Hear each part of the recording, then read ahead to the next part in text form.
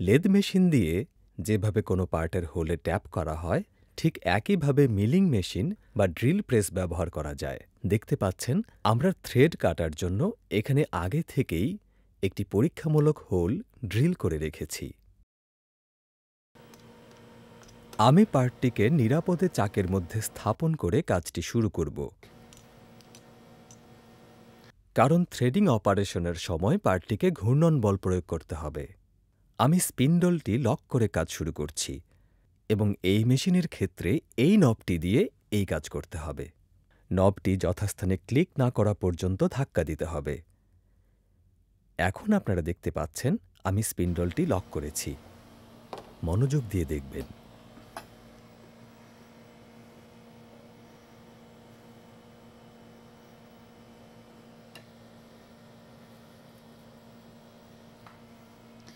আমি এই ছোট্ট টুলটিকে চাকে স্থাপন করে কাজটি শুরু করব। টুলটি ট্যাপ হ্যান্ডেলের পেছনের প্রান্তটিকে সাপোর্ট ও গাইড করার জন্য পাইলট হিসেবে ব্যবহার করা হয়। ঠিক এভাবে এটি একটি সাধারণ ট্যাপার ব্যবহার করেও করা সম্ভব। এটি একটি লাইভ সেন্টার। এটি টেলস্টকের মধ্যে স্থাপন করা যায় এবং একে ট্যাপ হ্যান্ডেলের পেছনে সাপোর্ট প্রদান করার জন্য ব্যবহার করা যায়।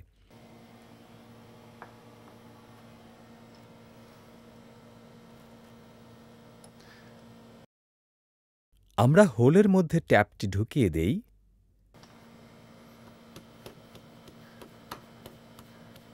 এবং ছোট ট্যাপারটিকে ট্যাপ হ্যান্ডেলের পেছনের অংশের সাথে স্পর্শ করাই। এভাবে আস্তে আস্তে ট্যাপ করে কাজটি করবেন। এখন আমি মেশিনের পেছনের দিকে যাচ্ছি। হ্যান্ডেলটি আসলে পেছন থেকে ঘোরাতে বেশি সুবিধা হয়। ঘোরানোর সময় আমি ট্যাপার এবং ট্যাপ হ্যান্ডেলের পেছনের অংশে সংস্পর্শ বজায় রাখার জন্য এই হুইলটিতে পর্যাপ্ত পরিমাণ ঘূর্ণন বল প্রয়োগ করব।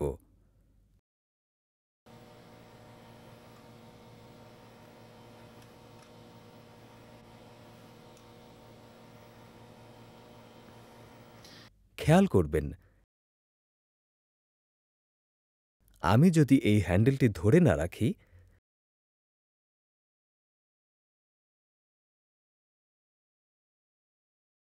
তখন হ্যান্ডেলটি ট্যাপার থেকে সরে যেতে পারে। আর তখন ট্যাপটা ভেঙেও যেতে পারে। কাজেই নিশ্চিত হন যে আপনি এখানে সঠিক সংস্পর্শ বজায় রাখতে পেরেছেন। অনেক ম্যাটেরিয়ালের ক্ষেত্রে ট্যাপ হ্যান্ডেলটি বেশ কয়েকবার ঘূর্ণনের পরে ট্যাপটিকে পেছনের দিকে একটি টার্নের তিন ভাগের এক ভাগ ঘোরানো একটি কার্যকরী উপায়। এর ফলে ট্যাপের ভেতরে থাকা চিপগুলি ভেঙে যায়। এবং সেগুলো বাইরে পড়ে যায়। এগুলো ঠিক এখানে মানে ট্যাপের ফ্লুটস দিয়ে বাইরে বের হয়ে যেতে পারে।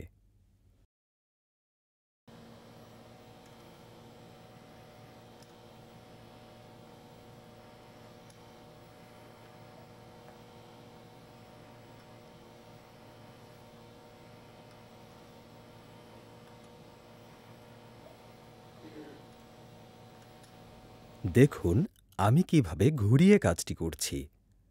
ট্যাপের থ্রেডযুক্ত অংশের প্রায় অর্ধেক পর্যন্ত যাওয়ার পরে চিপগুলো সম্পূর্ণরূপে পরিষ্কার করার জন্য হোল থেকে ট্যাপটি খুলে ফেলতে হবে। এটা ঠিক ড্রিল মেশিনে গভীর হোল করার সময় যেমনটা করতে হয়, ঠিক তেমন।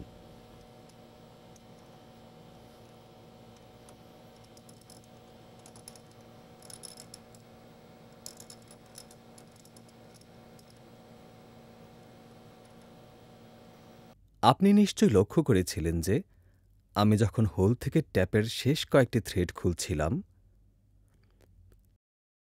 তখন ট্যাপের হ্যান্ডেলটি বেশ কাঁপছিল।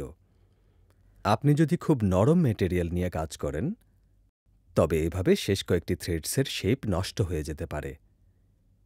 এই জন্য ট্যাপটি খোলার সময় প্রথমে ট্যাপের হ্যান্ডেলটি সরাতে হবে এবং পরে হাত দিয়ে ট্যাপটি আলতোভাবে ঘুরিয়ে থ্রেড থেকে বের করতে হবে।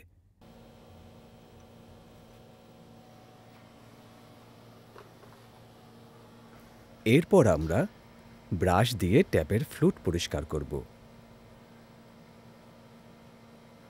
এবং সাবধানে ট্যাপ করা শুরু করব।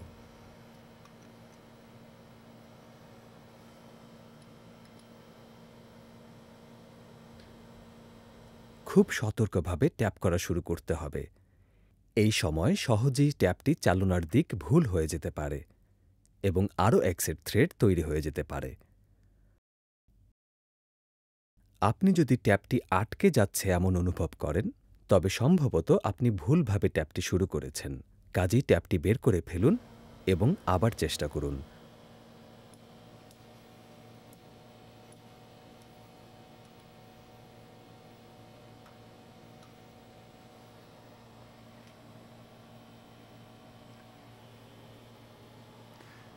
অনেক ম্যাটেরিয়াল আছে যা শুকনো অবস্থাতেই ট্যাপ করা যেতে পারে। তবে আরও ভালো ফিনিশিং পেতে বা শক্ত মেটেরিয়াল যেমন স্টেইনলেস স্টিলের মতো শক্ত হলে, ট্যাপ করার সময় সামান্য পরিমাণ কাটিং ফ্লুইড ব্যবহার করা বেশ কার্যকর। হোলটি পুরোপুরি থ্রেড না করা পর্যন্ত আপনি এই প্রক্রিয়াটি চালিয়ে যান।